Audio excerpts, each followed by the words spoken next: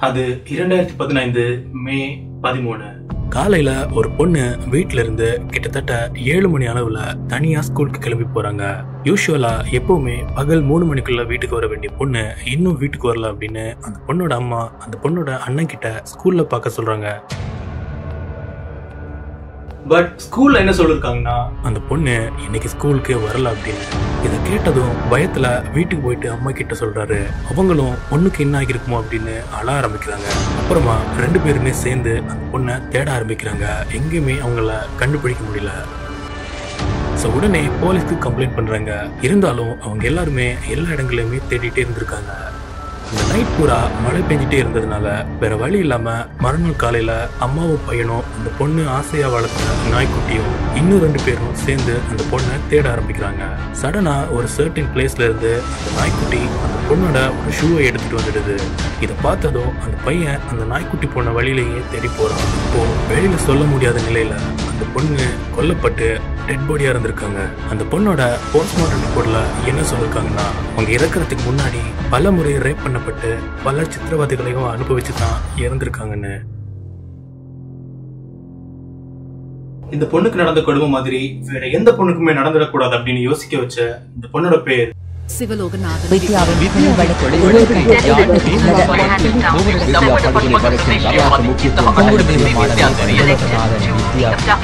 மாணவியை கடத்தி கூட்டு பாலியல் வன்கொடுமைக்குட்படுத்தி கொலை செய்தமை தொடர்பில் ஏழு குற்றவாளிகளுக்கும்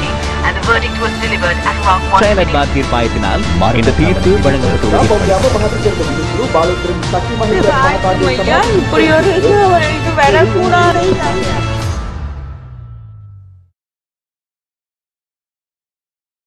வீடியோக்குள்ள போறதுக்கு முன்னாடி நம்ம சேனலுக்கு புதுசா யாராவது வந்திருந்தீங்கன்னா வெல்கம் டு மை சேனல் அப்படியே சப்ஸ்கிரைப் பண்ணி பெல் ஐக்கனையும் கிளிக் பண்ணி விட்டுருங்க.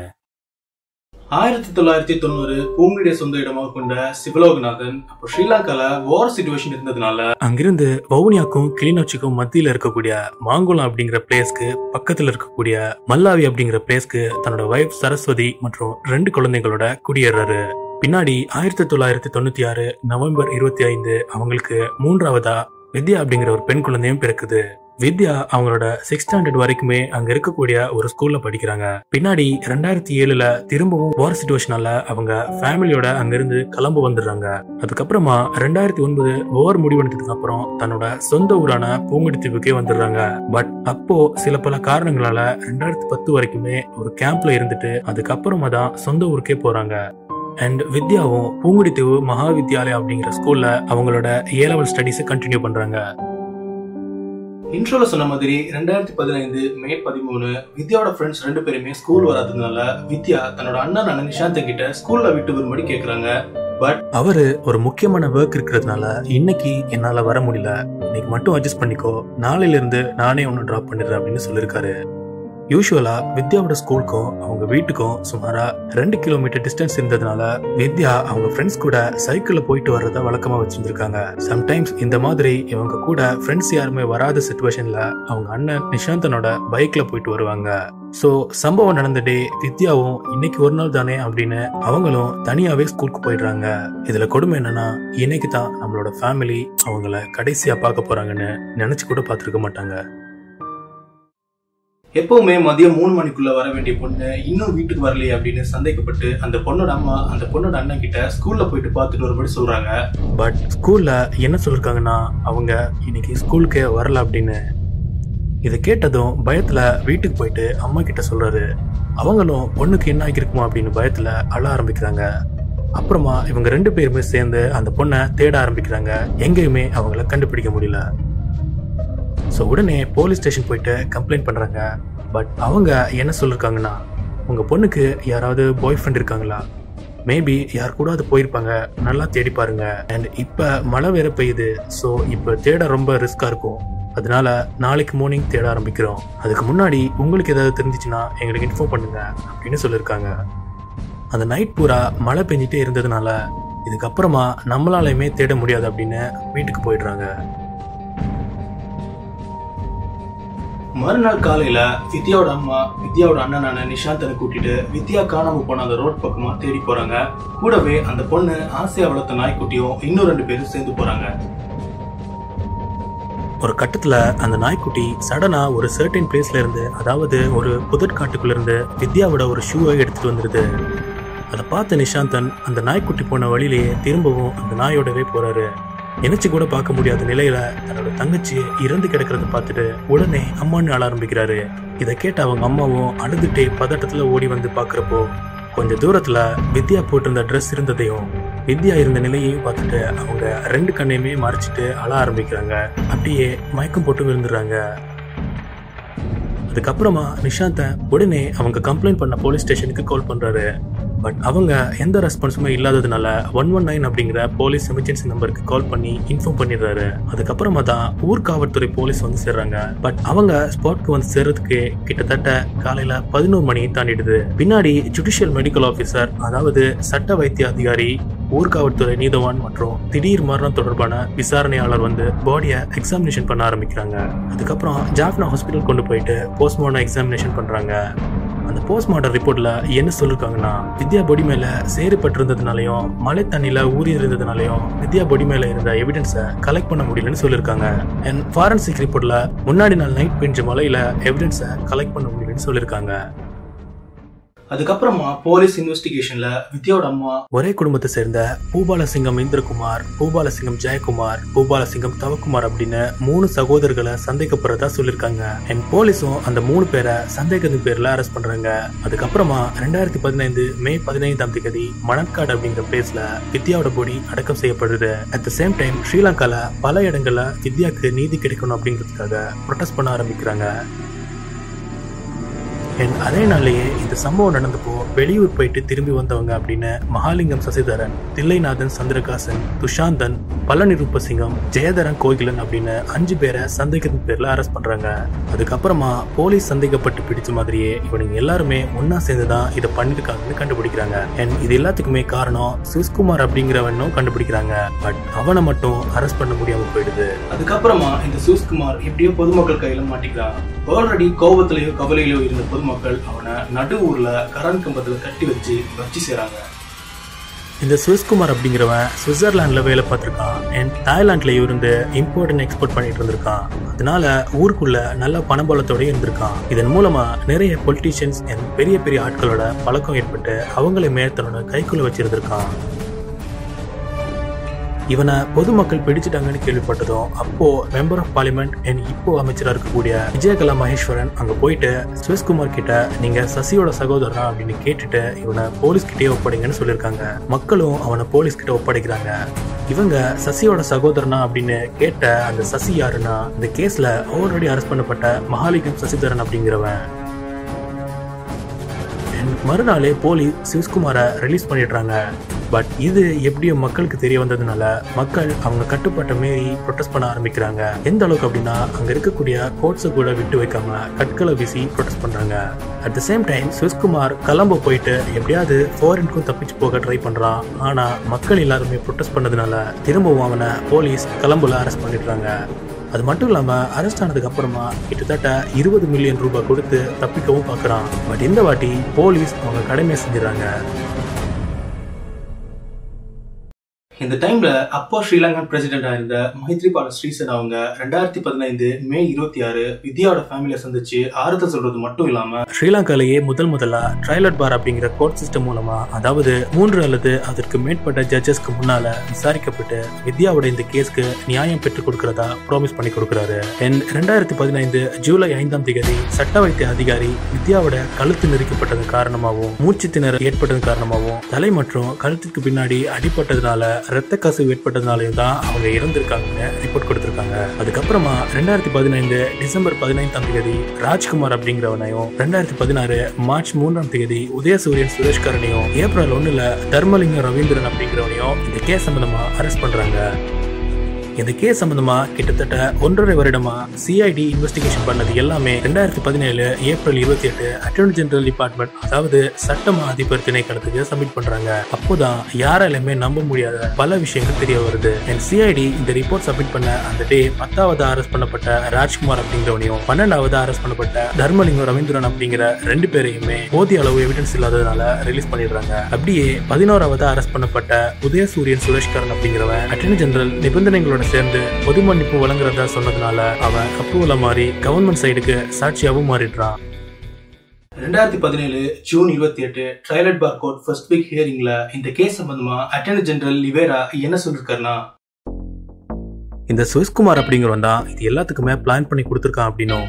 ரொம்பவே முக்கியமா இவன் இன்டர்நேஷனல் லெவல்ல பெரிய பெரிய போன் வெப்சைட்ஸோட அதாவது ப்ளூ ஃபிலிம் வெப்சைட்ஸோட லிங்க்ல இருந்திருக்கான். ஸோ சுவிஸ்ல இருக்கக்கூடிய ஒரு போன் கம்பெனிக்கு ரேப் பண்ணி கொலை பண்ற மாதிரி வீடியோ எடுத்து கொடுக்கறதா அந்த கம்பெனி கூட டீல் பண்ணிருக்கானோ? இதுக்காகவே அவன் ஸ்ரீலங்கா வந்திருக்கானோ? இது சம்பந்தமா ஓரடி வித்யாவோட போட்டோஸை கூட அந்த கம்பெனிக்கு அனுப்பியிருக்கானோ? வித்யாவையுமே நிறைய வாட்டி நோட்டீஸ் பண்ணிட்டே இருந்திருக்கான்னு சொல்லிருக்காங்க. ரெண்டாயிரத்தி பதினைந்து மே பதினோராம் தேதி இவனுங்க வித்யாவை கடத்த ட்ரை பண்றானுங்க. பட் அப்போ வித்யா கூட மத்த பொண்ணுங்க வந்ததுனால இது ரிஸ்க் ஆகிடும் அப்படின்னு விட்டதாவோ அதுக்கு அடுத்த நாள் மே பன்னிரெண்டு வித்யா ஸ்கூலுக்கு போகாததுனால எதுவுமே பண்ண முடியலனோ மறுநாள் தான் இவனுங்க பிளான் பண்ணபடி வித்யா கடத்த முடியுமான மாதிரி தனியா ஸ்கூலுக்கு போனதாகவும் காலையில ஏழு முப்பது மணி அளவுல தான் அடிச்சு இழுத்துட்டு போயிருக்கானுங்கன்னு சொல்லிருக்காரு.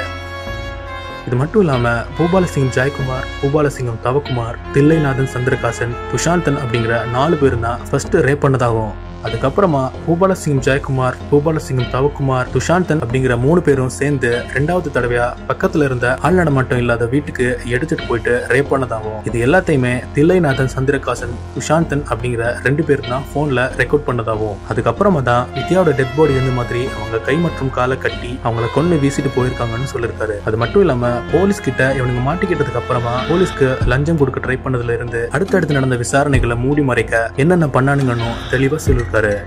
சின்ன பசங்க ரெண்டு பேரோட சாட்சியம் இந்த கேஸ்ல அவங்களுக்கு எதிராக அமைஞ்சிருந்தது. அது என்னன்னா ரெண்டு சின்ன பசங்க அந்த ரோட்ல போயிட்டு இருக்கும்போது அதுல ஒரு பையனோட செருப்பு கீழே விழுந்ததும் அதை எடுக்க ஓடி போறான். அப்படி போறப்போ யாரோ அலற மாதிரி சத்தம் கேட்டது.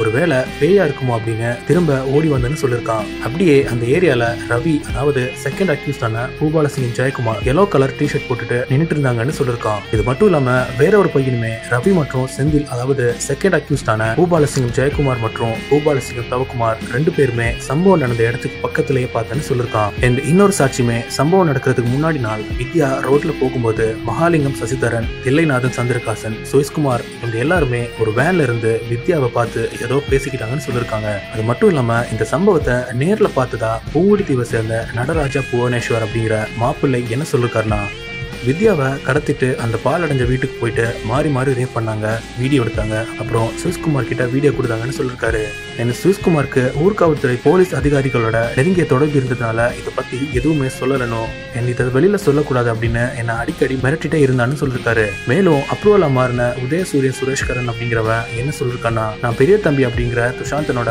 லவ்க்கு ஹெல்ப் பண்ணலாம் அப்படின்னு தான் போனேன். பட் இவனுங்க அந்த பொண்ணை இப்படி பண்ணுவாங்கன்னு நினைச்சு கூட பார்க்கல. இவனுங்க அந்த பொண்ணுக்கு பண்ண கொடுமையை பார்க்க முடியாம அங்கிருந்து வந்து வந்துட்டேன்னு ஸ்டேட்மெண்ட் கொடுத்துருக்கான். என் போலீஸும் இவனுங்க வீட்டை சர்ச் பண்ணப்போ ரத்த கரைகளோட இருந்த ஒரு எல்லோ கலர் டிஷர்ட்டை கண்டுபிடிச்சிருக்காங்க. என் முக்கியமா பெரிய தம்பியோட வீட்டை சர்ச் பண்ணும்போது கண்டுபிடிக்கப்பட்ட கண்ணாடி வித்யாவோட கண்ணாடி அப்படின்னு மெடிக்கல் ரிப்போர்ட் மூலமா கண்டுபிடிக்கப்பட்டதுமே இந்த கேஸ்ல ஒரு முக்கிய எவிடன்ஸ் அப்படின்னு அட்டர்னி ஜெனரல் லிவேரா சொல்லியிருக்காரு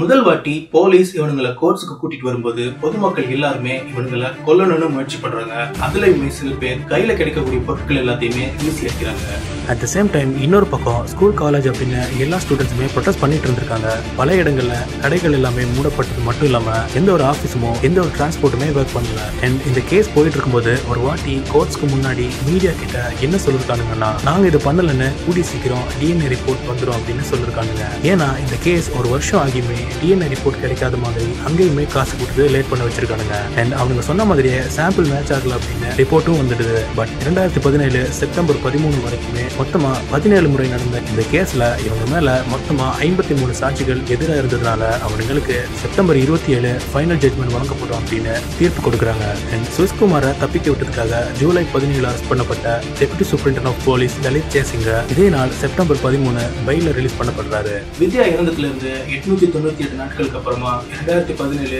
செப்டம்பர் இருபத்தி ஏழு டைலட் பாஸ்போர்ட்ல மதியம் ஒன்று இருபத்தைந்து அளவுல எல்லா லைட்ஸ்களுமே ஆஃப் பண்ணிட்டு ஃபைனல் ஜட்மெண்ட் வழங்குறாங்க. அதுல என்ன சொல்லிருக்காங்கன்னா ஃபர்ஸ்ட் அண்ட் செவன்த் அக்யூஸ்டான பூபாலசிங்கம் இந்திரகுமார் பழனி ரூபசிங்கம் அப்படிங்கிற இவங்க ரெண்டு பேரையுமே போதிய சாட்சி இல்லாததுனால ரிலீஸ் பண்றாங்க அப்படின்னும் சுரேஷ்குமாரோட சேர்த்து மற்ற அக்யூஸ்டான எல்லாருக்குமே மரண தண்டனை வழங்கப்படும் அப்படின்னும் ரெண்டாம் மூன்றாம் ஐந்தாம் ஆறாம் எட்டாம் அக்யூஸ்டான பூபாலசிங்கம் ஜெயக்குமார் பூபாலசிங்கம் தவக்குமார் தில்லைநாதன் சந்திரகாசன் சுஷாந்த் அப்படிங்கிற ஐந்து பேருக்குமே planning abduction gang rape unlawful assembly and மர்டருக்கு கீழே அவங்க ப்ரூவ் பண்ணப்பட்டதுனால முப்பது வருட கடுமையான சிறை தண்டனைக்கு அப்புறமா மரண தண்டனை வழங்கப்படும் அப்படின்னும் ஒவ்வொருத்தருமே நாற்பதாயிரம் அபராதம் செலுத்தணும் அப்படின்னும். ஒருவேளை இதை அவங்களால கட்ட முடியலன்னா மேலதிகமா நான்கு மாத சாதாரண சிறை தண்டனை அனுபவிக்கணும் அப்படின்னும். வித்யா ஃபேமிலிக்கு ஒன் மில்லியன் ரூபாய் கம்பன்சேஷன் அதாவது நஷ்ட ஈடு கொடுக்கணும் அப்படின்னும். ஒருவேளை இதையுமே அவங்களால கட்ட முடியல அப்படின்னா திரும்பவும் மேலதிகமா இரண்டு வருடம் சாதாரண சிறை தண்டனை அனுபவிக்கணும் அப்படின்னு சொல்லியிருக்காங்க அது மட்டும் இல்லாம நான்காம் ஒன்பதாம் அக்யூஸ்டான மகாலிங்கம் சசிதரன் சுவிஸ்குமாருக்கு முப்பது வருடம் கடுமையான சிறை தண்டனைக்கு அப்புறமா மரண தண்டனை வழங்கப்படும் அப்படின்னும் இவங்க ரெண்டு பேருமே எழுபதாயிரம் ரூபாய் அபராதம் செலுத்தணும் அப்படின்னும் ஒருவேளை இதை அவங்களால கட்ட முடியலன்னா மேலதிகமா நான்கு மாத சாதாரண சிறை தண்டனை அனுபவிக்கணும் அப்படின்னும் வித்யா ஃபேமிலிக்கு ஒன் மில்லியன் ரூபாய் நஷ்டஈடு கொடுக்கணும் அப்படின்னும் ஒருவேளை இதையுமே அவங்களால கட்ட முடியல அப்படின்னா திரும்பவும் மேலதிகமா இரண்டு வருடம் சாதாரண சிறை தண்டனை அனுபவிக்கணும் அப்படின்னு சொல்லியிருக்காங்க. உண்மையிலேயே நினைச்சு கூட பார்க்க முடியாத கொடூரமான இந்த சம்பவம் எப்படி நடந்திருக்குன்னா? ஒரு நாள் இவனுங்க எல்லாருமே ஒரு வீட்டுல கல்ல குடிச்சிட்டு இருக்கும்போது பெரிய தம்பி நான் வித்யாவை லவ் பண்றேன். ஆனா அவ என்ன வேணாம் சொல்லிட்டா. பட் எனக்கு அவள் வேணும். எப்படியாவது வித்யா எனக்கு வேணும் அப்படின்னு வித்யா மேல இருந்த ஒரு செக்ஷுவல் அட்ராக்ஷனை சொல்லியிருக்கான் அண்ட் இதை சுவிஸ்குமார் அவனுக்கு சாதகமா யூஸ் பண்ணி பிளான் பண்ணி கொடுத்துட்டு அப்படியே எனக்கு வீடியோ மட்டும் எடுத்து கொடுங்கன்னு சொல்லியிருக்கான் அது மட்டும் இல்லாம ஆல்ரெடி திருட்டு சம்பவத்துல மாட்டிக்கிட்ட பூபாலசிங்கம் ஜெயக்குமார் பூபாலசிங்கம் தவக்குமார் பெரிய தம்பி அப்படிங்கிறவங்களுக்கு எதிராக வித்யாவோட அம்மா சாட்சி சொன்னதுனால எப்படியாவது இவங்களை பழி வாங்கணும் அப்படிங்கிறதுக்காகவும் இதுக்கு ஓகே சொல்லிடுறானுங்க. அதுக்கப்புறமா அதுல இருந்து ரெண்டு வாரமா வித்யாவை நோட் பண்ணிட்டே இருந்திருக்கானுங்க. என் சம்பவம் நடந்த டே பெரிய தம்பி பூபாலசிங்கம் ஜெயக்குமார் பூபாலசிங்கம் தவக்குமார் அப்படிங்கிற மூணு பேருமே வித்யா வரும் வரைக்கும் வெயிட் பண்ணிட்டு இருந்துட்டு வித்யா வந்ததுக்கு அப்புறமே பெரிய தம்பி அப்படிங்கிறவன் வித்யாவை மறைச்சு நீ என்ன லவ் பண்ணலையா? அப்படின்னு கேட்டு கண்ணத்திலேயே அரைஞ்சிருக்கான். அப்போ கீழே விழுந்த அவங்களோட கண்ணாடிய பெரிய தம்பி எடுத்து வச்சிருந்திருக்கான். அதுக்கப்புறமா அவனுங்க மூணு பேருமே வித்யாவை இழுத்துட்டே பக்கத்துல இருந்த ஆட்கள் இல்லாத பிளேஸ்க்கு எடுத்துட்டு போயிட்டு வித்யாவோட உள்ளாடைய பூபாலசிங்கம் ஜெயக்குமார் அப்படிங்கிறவன் வித்யா வாய்க்குள்ளேயே செலுத்தி அவங்க முகத்திலேயே குத்திருக்கான். அதுக்கப்புறமா மற்ற ரெண்டு பேருமே அவங்க கையை பிடிச்சிட்டு இருக்கும்போது பெரிய தம்பி அப்படிங்கிறவன் ரேப் பண்ணிருக்கான் அதுக்கப்புறமா பக்கத்துல இருந்த பாலடைஞ்ச வீட்டுக்கு எடுத்துட்டு போயிட்டு மத்த ரெண்டு பேருமே மாறி மாறி ரேப் பண்ணும்போது பெரிய தம்பி போன்ல வீடியோ எடுத்திருக்கான் அதுக்கப்புறமா அவன் சுரேஷ்குமாருக்கு கால் பண்ணி அந்த இடத்துக்கு வர சொல்லிட்டு வீடியோவையும் கொடுத்திருக்கான் சுவிஸ்குமார் அவனோட டிரைவ்ல அப்லோட் பண்ணி அந்த கம்பெனிக்கும் சென்ட் பண்ணிருக்கான் அதுக்கப்புறமா அவனுங்க மூணு பேருமே சேர்ந்து வித்யாவோட டைய வச்சு அவங்க கையை பின்னாடி கட்டி அவங்க ரெண்டு காலையுமே மற்றைய உள்ளாடையால கட்டி வேற இடத்துல போயிட்டு இருக்கானுங்க. போலீஸ் கிட்ட மாட்டிக்கிட்டதுக்கு அப்புறமா சுவிஸ்குமார் உடனே அந்த டிரைவ்ல இருந்து வீடியோ என்ன அந்த கம்பெனிக்கு சென்ட் பண்ணதுக்கான ஆதாரம் எல்லாத்தையுமே டெலிட் பண்ணிருக்கான் பட் போலீஸ் அதை எப்படியோ பெக்கப் பண்ணி எடுத்திருக்காங்க. முதவாட்டி ஜுடிஷியல் மெடிக்கல் ஆஃபீஸர் அதாவது சட்ட வைத்திய அதிகாரி ஊர்காவல்துறை நீதவான் மற்றும் திடீர் மரணம் தொடர்பான விசாரணையாளர் வந்து பாடியை எக்ஸாமினேஷன் பண்ணும்போது வித்யாவோட பாடி எந்த மாதிரி ஒரு நிலையில இருந்தது அப்படின்னு ஸ்கிரிப்ட்ல வச்சிருந்தேன். பட் இந்த வீடியோ ரெக்கார்ட் பண்ணும்போது சத்தியமா என்னால சொல்ல முடியல. ஸ்கிரீன்ல போடுறேன். நீங்களே வாசிச்சு பாருங்க.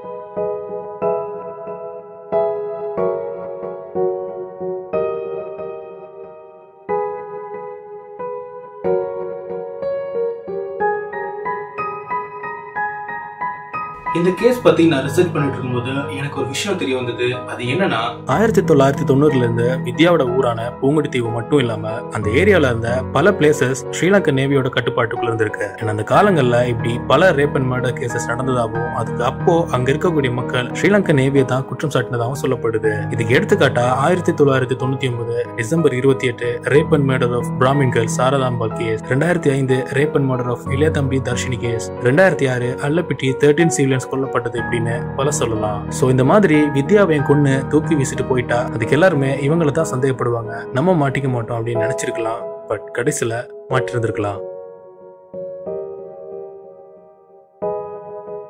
இதுல ஒரு கொடுமையான விஷயம் என்ன அப்படின்னு பாத்தீங்கன்னா வித்யாவோட இந்த கேஸ்ல தீர்ப்பு வழங்கப்பட்டு கொஞ்ச நாள்லயே செயா அப்படிங்கிற ஒரு சின்ன பொண்ணு ரேப் பண்ணி மர்டர் பண்ணப்படுறாங்க. இந்த காலத்துல ரேப் மர்டர் எல்லாமே ரொம்ப சாதாரணமா போயிடுச்சுங்க. பெண்கள் எவ்வளவு சேஃப்டியா இருக்க முடியுமோ அவ்வளவு சேஃப்டியா இருங்க. ரொம்பவே முக்கியமா தனியாக போகிறத மேக்ஸிமம் தவிர்த்துக்கங்க. ஏன்னா இந்த மாதிரி நிறைய நல்லவனுங்க மாதிரி தான் சுற்றிட்டு இருக்காங்க.